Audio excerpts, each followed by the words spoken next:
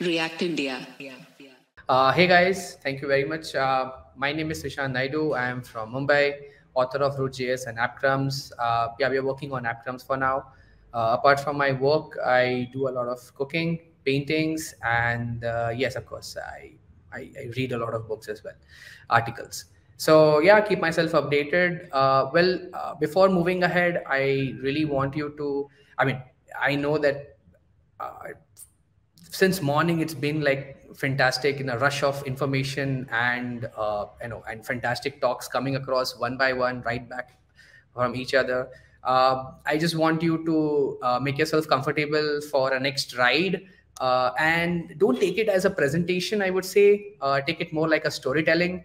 Uh, because i know human brain they normally don't be active actively you know participating in presentations and and grasping you know informations continuously so uh, i know you have taken a lot so let this particular slide just uh, make you feel free and enjoy the ride from here so what am i going to explain you about is intelligent user interface uh, I know we have all heard about user interface. Then how come? What exactly is intelligent user interface? It's a broader term we'll be discussing throughout a slide a platform which helps in building and orchestrating human computer interactions with the help of computational intelligence. So how is the ai computational intelligence going to help us in building user interfaces building and also orchestrating as i mentioned? So what are you going to learn in the next 30 minutes? I'll not say basically learn but yes um, uh, maybe here in the next 30 minutes. Uh, so it's about what is iui uh, intelligent user interface uh, evolution of user interface how user ui has been you know evolved since uh, the time we have started to see them as very flat uh, not very interactive elements and uh, web pages or desktop applications. To to today where we see them fantastically made pretty much interactive uh, very informative right? So how has the evolution taken place? Ui at its current form. So in the in, in between the evolution we also discuss more about where it is today and what probable uh, ways it can take it in the coming uh, future right?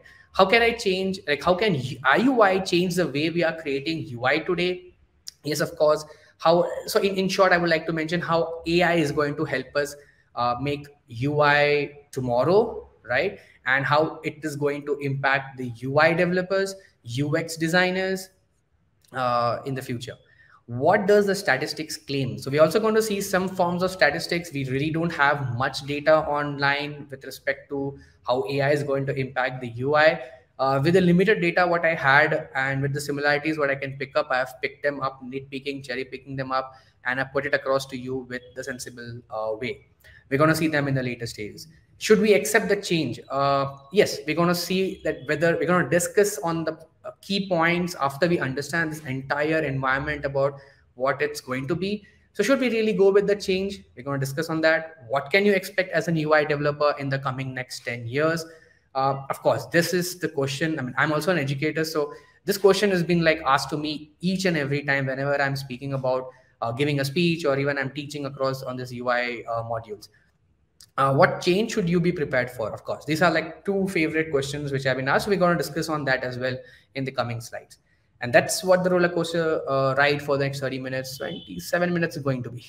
What is user interface? Uh, we know what user interface is but let's uh, let's go through it. Many of them do uh, do know it but some do not put it in the right way. So it's like a space for human computer interaction or communication on a device web page or an app so not really a button or a drop down. There are modes of it. But when you speak about user interface, a space which gives you to interact with the human and the computer, that's probably called as the user interface. Um, as I mentioned, desktop apps, web apps, and mobile apps pretty much cover them all, uh, like the types of user interface. Now, how will intelligence help in this particular aspect? So now we're gonna step into the main aspect of how intelligence will help it. Uh, that is basically how AI will start stepping up into it. Now, uh, let me give you a very simple example. Now, I'm a, I've been a UI developer since more than 12 years uh, from now, and uh, I have a kid, and I do a lot of experimentation on how basically my kid try to learn things across from observing, and how does uh, she and he both try to manipulate those observations right so that's where i've come up with so whatever i've written over here are all uh, my drafting of information across. So learning is observing and storing of information. So I do a, I have done a small example uh, for my kids. So what I do is when I was playing uh, when she was two years old and when she was she was playing with me, uh, we had this uh, uh, you know this plastic balls, different colored ones, and someone asked like, "What is your favorite color?" I picked up the red, and every time I was asked what was my favorite color, I always picked up the red.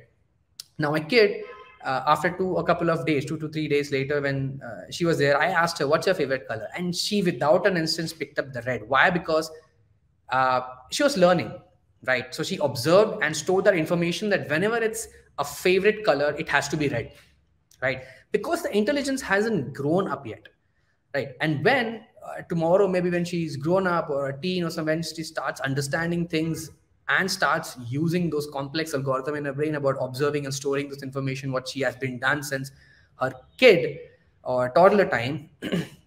Uh, she's going to compare those information right? So she might correlate blue with the sky and the water and the greens with the trees across and she might come up with no i probably i'll change my decision now and it's going to be green as my favorite color and not red.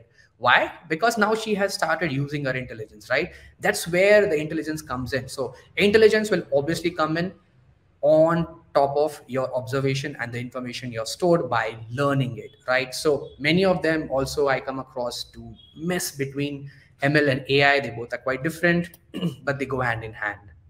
Now coming up with an example of how uh, ai has started up with the uh, you know with, within the department of UI uh, and uh, building applications, uh, especially in the in the developer you know zone. So if you so if you, if you see over here, there are two parts of it, right, where intelligence helps us in the application department.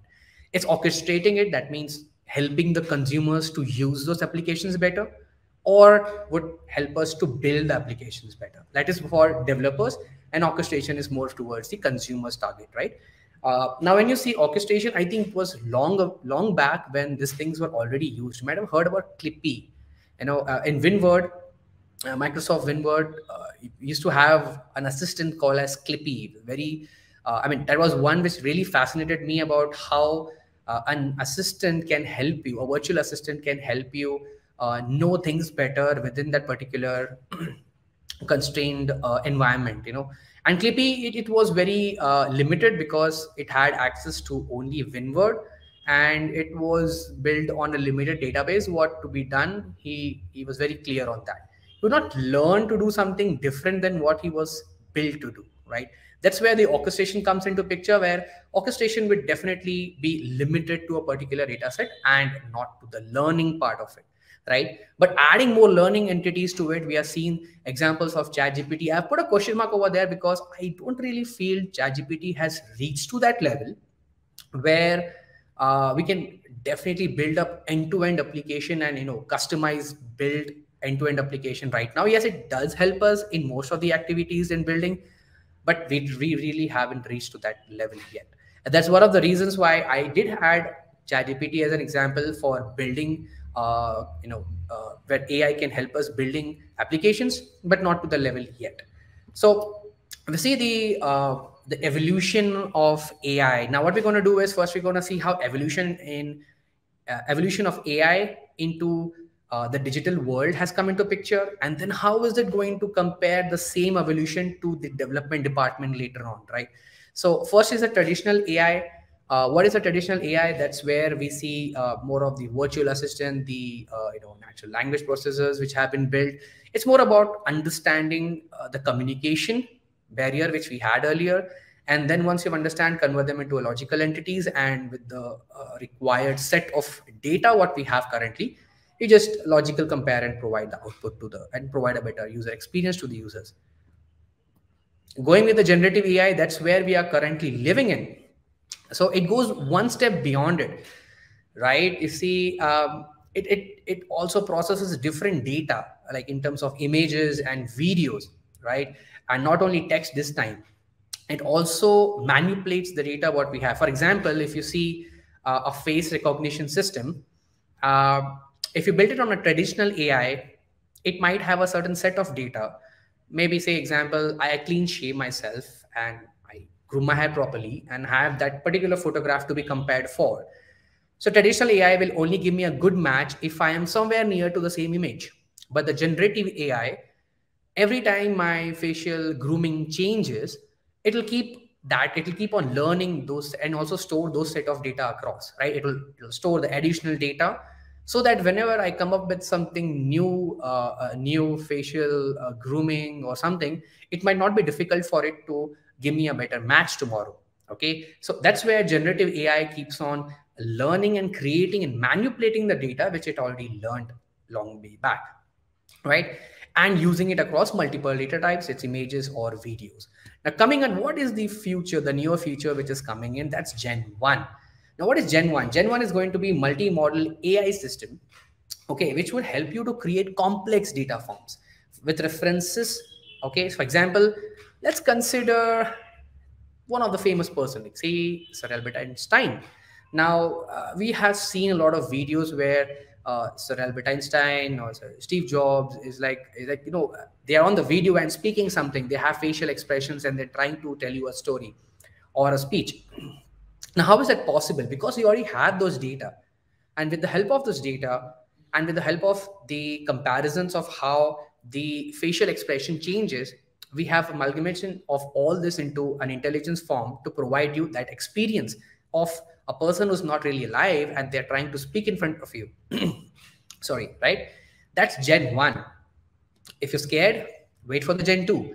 Gen 2 is way beyond that uh, I don't know about how, how many of you have seen this commercial which has come across where uh, a mother, she puts her five years baby photograph online and she has been putting that since she, the baby was around one years old. And suddenly the AI forms the same baby's 20 years later image. She's on the screen and she's speaking to her parents. How did that, how was that possible? So Gen 2 is based on Gen 1, but it can also be able to create imaginary complex forms of data, which it doesn't have right now, with the reference of some things which it had for a limited time. For example, now the baby's photos were there only from the age 1 to 5 and not until 20. But this Gen 2 uh, platform will be able, the AI system can will be able to create and you know compare that baby's facial expression uh, maybe the face with some other babies which are and how these babies grew up to be you know how they looked after some time study those uh, the changes in the facial expressions happened when compared to the parents and then compared to the existing data and give you that look and feel of how your baby will look like after 20 years of age scary enough right and but that's where we are moving up to and that's gen 2 that's just gen 2 i'm saying because I think this is where we have defined a limit till. There's more to it. We haven't defined what Gen 3, 4, 5 is going to be. But let me restrict it to Gen 2 because I think that's more than enough for us to digest and get scared of today. So uh, prank time, I have added a little bit of bits and pieces. I see Joker's saying is really being uh, you know fitting in this particular scenarios. So as it's a storytelling, I also wanted to be a little funny here uh, it's a little funny and also very scary. So let's go ahead with what Joker says to the to the scenarios what I have discussed here. it was funny, or it's funny, when I was a little boy and told people that AI will eat your job. Everyone laughed at me when no one's laughing right now. So I know I've changed a bit where it's AI, but I, I think you get the uh, the anecdote what I'm trying to mention here, right? so it's not going to eat your job, but maybe it can. so let's go ahead and see what questions we have answered up till now or what things we have covered. Uh, so have covered the, uh, the top three and the rest is now remaining. I'm going to speak about what, how can UI change the way we are creating UI today. So let's see, see about how can we automate UI or how the process of automating UI can be taken. I'm also going to give you a small gist about uh, a process, okay, a small uh, example or a code snippet, uh, an idea, how you can automate something which you can uh, you know, design on Figma, download it as a part of a vector image, SVG image, convert that design directly into and build a logic. Like you, need, you need to build a logic over it and convert it into an actual React component. So an automation from a design on the Figma to an actual React component can be done. I'll be giving you a gist about that. I could have given you a work a working uh, experience about it, but it would have really been extended beyond 30 minutes, and that's why I restricted to it. Uh, well, let's see what is automating UI. Now we have seen the evolution of how AI is going to take ahead. Let's compare the evolution of AI into the field of application development. Okay, that was more on the generic term. This is more pertaining towards the uh, development of UI and applications together. now, I did put UI components that's somewhere far behind uh, in the past what we have done. I do consider it as a kind of an intelligent act because uh, we used to create all the UIs or, or forms, etc., the input boxes, buttons, style them uh, from the basic for every applications, right? But we, we created components, UI components, which were readily available for us to use. From those UI components, we started automating the UI templates. How come UI templates? Today, if you see, we, we create a small chunks, like for example, registration form. Ask the ChatGPT to create a registration form for you. It can definitely create one right? With the minimal inputs, it can actually give you an UI templated output, which is pretty much uh, available today. And we've already moved from this particular phase to the phase where we can automate defined modular applications. Now, what are defined modular applications? Like maybe uh, it's not about the single template, but create an entire application or maybe an e-commerce app with a page, with a with a search page like this, with a, a payment page needs to be something like that I mean, XYZ as your requirements, but yes, uh, not to the level of customization which I expect it to be, but yeah, to a decent level of customization, it is achievable today. Uh, automation of these applications from scratch can be done, right? And ChatGPT 4 can definitely take care of these things. So we have that's the reason I've already mentioned this over here. It's a little bit towards a green other than blue because we are we are moving in that direction, and more, more probably by the year or a half uh, from today, we are going to be on the path where defined model applications are automated. But what is the future of after that? It's scary, but let's let's go through them. It's the the AI systems can now architect multi-model application, multi-model applications, in sense. Um, you give me a requirement. Don't tell me what to use. For example, uh, what application do you want to build? Don't tell me whether I need to use SQL or Oracle Elasticsearch or MongoDB, any database, right? What service layer do I need to use? Is it Java or is it something other language I need to use across? Any frameworks which I need to use on the front end, is it Angular, Vue, or React? You don't tell me. You don't specify that. It's not developer specific. It's more about user specific. Just tell me what your requirement is, and the AI system will start using them. It will adopt on the basis of your requirement. It will choose the technology, what it needs the best fits your requirement. And it will architect the entire application framework for you and give it to you to run it on your local right now. Isn't it scary? If you see that is scary then let us see what the next stage is going to be the more mature stage of uh, what i feel currently. It can be way beyond that also. Definitely is going to be there. But what i see the most scariest part is it can also automate the entire ecosystem of your application. For example you ask me something it will be deployed you give them you give the ai system the uh, the domain which you want to be deployed at. It will deploy that particular application on that domain and it will be ready on a click of a button. You start your business today right after the click of a button. At that level along with the customization of course when you ask me will there not be any uh, customization in terms of manual development needed? Yes of course. Manual tweakings developments will definitely be required but not at the level of what the previous age is required right? You see that you come back from the uh, from the extreme last to the previous ages the amount of manual interventions required that won't be required at that moment. So the last is where we see the entire things what we are doing today building the applications deploying testing most of the entire ecosystem will be automated and will be there yeah when you ask me how much time will it take yeah definitely it will take beyond 10 years timeline. Uh 10 years when i say is maybe by 2030 uh, i know it's not 10 years 7 years from now. Uh, but yes we're going to see start seeing the effects of the entire ecosystem of applications to be automated by the by the start of 2030 How am I saying that? Well, I, I, I as I mentioned, I do read a lot of articles. I I have come across a lot of studies, and I say uh, a lot of multi uh, multi million dollar companies are already onto the path of it. Uh, it's just that they don't roll off a lot of information with respect to it, but when you when you start reading be between the lines you get the information totally. So automating ui templates yeah. This is the example which i mentioned. Yeah i'm not i'm not to the part where i'm explaining you how to define model applications and automate it.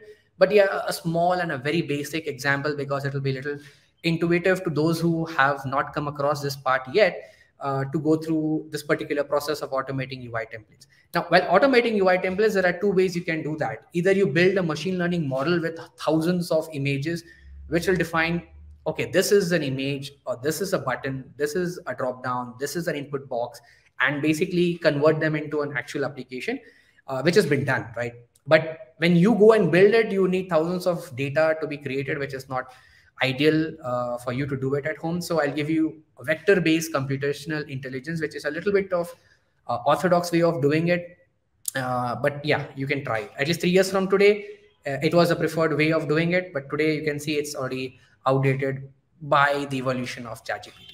So if you see, uh, how can we achieve this? A small presentation uh, for how can you do that?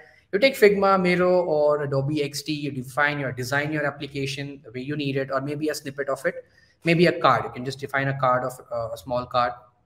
And then when you download it, make sure you, you select the SVG scalable vector graphic because they are in nature XML right? so it's better to pass them into JSON. XML can be passed into JSON, but you need identifiers to be added. So before you design onto Figma, Miro, and XD, you need to have design kits which will have identifiers, identifiers, right? Example, I have a button. I'll, I'll give you the examples how it's going to be. Say example, you have a button, and that button is an SVG which you are using inside the Figma. Those SVGs need to have what kind of button it is, what properties of the button. So you add the type of button, you add the properties to it and those identifiers will be then read during the passing uh, stage where your svg is passed to json and then those json can directly be converted to whichever you output you select is either going to be react angular vue or html now let's see how it's going to be in reality. I've given you a simple example. I've done a lot of uh, experiments on this. I was able to uh, possibly uh, come up with an entire page of automation. Uh, yeah, uh, due to some ongoing process and development activity, I will not be able to show it to you across, but I'll give you a small a small snippet of how it was achievable. this is the UI design kits which we, we are going to export uh, import it to Figma to use to design your application. Now I'm considering only buttons here. You see, there are three different types of buttons. It's uh, the primary, the outline, and the tonal, the solid button, basically. So you see over here on the React uh, SVG, we have mentioned type equals to button, right? And the ID is given so that that ID is connected to your text. You know, in svg is morely you cannot name your rectangles. You need to have a text right below the rectangle tag, right? So uh, now you know that that text belongs to that particular ID. That's the reason we have used for attribute there. These are custom attribute like the type and the props we have used.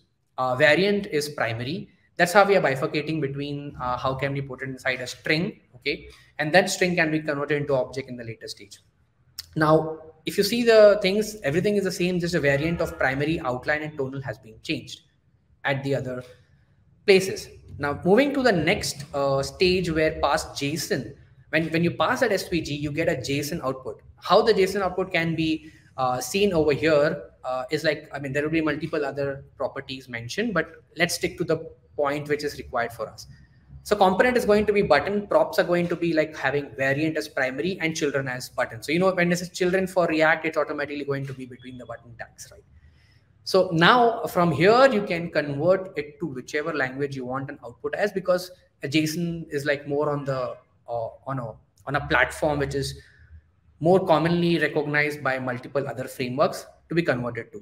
So from this particular aspect, I think it's pretty much easier for you to convert it into the React components, being button, variant, and this. When you convert it into this, you place it onto your actual React component and export it. And that's where you get the automated lines. Now, this entire process happens in one go, right? Uh, from the time you have uh, designed on Figma, exported as an SVG, imported SVG on a particular platform, sorry, and, the, and that particular logic is written by you click on the button of export, and then you export this entire UI across. Right. Um, but I'm not able to see what questions you're asking, but definitely, um, if there are any questions, you can reach out to me. I will, I will definitely help you to do that. Uh, do this particular experimentation if you are stuck in any of the process. Uh, so until now, we have covered another important factor of how can IUI change the way we are creating UI today, right? So I mentioned you a brief about it, but what does the statistics claim? Uh, where are we going? What direction are we moving in? And what are the statistics claim? We're going to see that in the next slides. Ah, it's a prank time again. This prank is one of my favorite pranks, and I definitely would want you to uh, pay attention a bit over here and read them. I'll read it for you. So there is a conversation between a developer and the Joker. I, I don't need to give you an introduction about the Joker, right? So uh, so this is a developer on the left hand side and the Joker is applying on the right hand side. The developer is saying that I'm working on an idea which would transform the way we develop UI. The Joker is saying, what is that? I mean, I, I tried to enact Joker here. Uh, pardon me if I'm not the exact way, I'm not good at it a, a platform which can automate, the developer is saying a platform which can automate UI templates and some of its logic. Now, why would you want to do that? The developer says this will reduce the efforts, time, and workforce. The Joker smiles, which was painful for him, and says, I was right. When the chips are down, the civilized people, they'll eat each other. so uh, it's an anecdote. It's uh, take it as a prank, but definitely we also need to pay attention to what exactly we are trying to achieve are we uh, are we actually cutting the branch on where we are sitting or we are basically growing a new one there is a limit for everything and uh, evolution of everything. So i think we need to really uh, think about it. And what exactly does the statistics and the case study say? Let's go for that. This is my case study. I could have mentioned a lot of details here but as i mentioned due to the time constraint i need to put what exactly has been mentioned here. So it's uh, mechanical engineering jobs, if you see, have been seen a gradual drop since 1990s. Why? Because that's a time when computational uh, existence started into coming picture. Not the intelligence, but computers started to be existent from 1990s. It started getting more matured and started to uh, give more birth to the electronic departments. And uh, you know, uh, exact example, I would not say the name of the company, uh, but I could say that one company, an automobile company, which was having around 1,000 workforce, was cut down to 200 uh, just because uh, the machines uh, were involved in making automobiles, right? Manufacturing automobiles. So manufacturing sectors, uh, fabrication sectors, aeronautics, mechanicals, engineering, whichever you can see, wherever there has been industrializations, there has been automations of in machines which have taken up the core jobs of the uh, you know the labors across uh, but but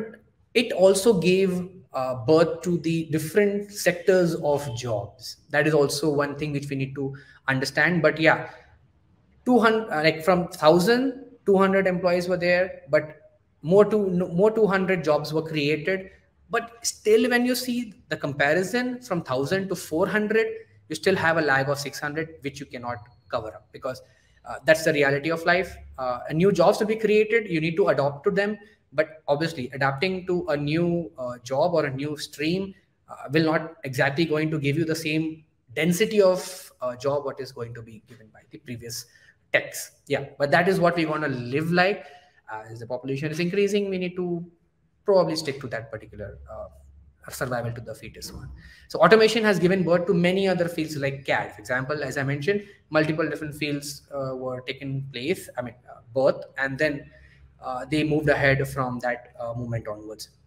You know, and AI market is expected to grow from 100 billion dollars to nearly 2 trillion dollars by 2030. This involves AI being a part of all different parts, right? You know, maybe in automobile and any other uh, sectors, every sector I'm saying about when you compare it with the UI UX market, you see UI UX market is going to go from 1.4 billion dollars at a CAGR rate of 18 to around 3.9 billion dollars. This is still an estimation part. Um, most of the sites which mention this sometimes mention 3.7, some is mentioning 4.2, and some is like 3.6. So it's somewhere near 3.6 to 4.2. You can get the combination of it to 3.9 billion dollars. It's what we are seeing to grow, right, in the future. Now, when now you need to know when to stop this is very important any technology you go beyond a particular limit is going to bite you back so uh, example as i mentioned like we, we saw a prank where a developer is trying to uh, create something which is going to automate and indirectly uh, you know reduce the efforts used by another developer. So we need to know when to stop. Now what are those things which we really need to pay attention on? See all companies now let us see a scenario. This is a basically a cycle a vicious cycle which you all might be aware of but when you put across everything you can connect the dots and you understand much better. Okay so when i talk about where the ai is going 10 years from now this is how it's going to be. All companies adopt ai and ml for automation right this is a scenario i'm talking about right what's going to happen and it is currently already started so all companies adopt AI ML for automation, resulting in job cuts and less wages due to the competition increase. Right? Less wages will result into less consumers, okay, giving birth to less consumers because you're not going to purchase expensive products. So I not subscribe to the uh, expensive phones coming across and getting launched very recently. Less consumers will affect organizations in cutting more jobs, resulting in a massive and more occurrent or reoccurrent recessions here and there. If you see the recession graph since the last years, uh, last almost uh, maybe somewhere near 80 years, you'll see that they have been occurred more frequently, and the impact of has impact of it has been more. But you see, the the the recession has not stayed till longer, but it is more frequent. So you need to understand that it will give birth to new jobs, while there will also be job cuts right? So that curve is going to be more frequent. Like you'll see, you start seeing recessions in lesser years in coming time, and it's going to go away also in less uh, time span. That's what the entire uh, you know case study which I have done for this uh, points out to be as. Now again, a prank time. This is the uh, okay. This is the Joker's AI ML mentions here. Introduce a little anarchy. I would rather mention artificial intelligence or intelligence here, introduce a little anarchy, upset the established order, and everything becomes a chaos. I am the agent of chaos. Yes, AI ML used until the point where it is required for the betterment of something to be built, it is a boon. Beyond that, it's going to be a chaos. And I think we have already started moving up to that level. But yeah, if we restrict it and that's betterment for us, and for everyone. I mean, say not only developers, the people who are working for the manufacturing industries as well. Uh, and if you restrict it to a particular limit, it's good. Beyond that, definitely it's going to be chaos. So after uh, such a, a, intense storytelling, uh, I'm going to ask you why you're so serious. Uh, you don't have to be anymore. There are more uh, talks coming in for you. Thank you for now. This is Trishanth Naidu signing out. Thank you very much, guys. I hope you enjoyed it.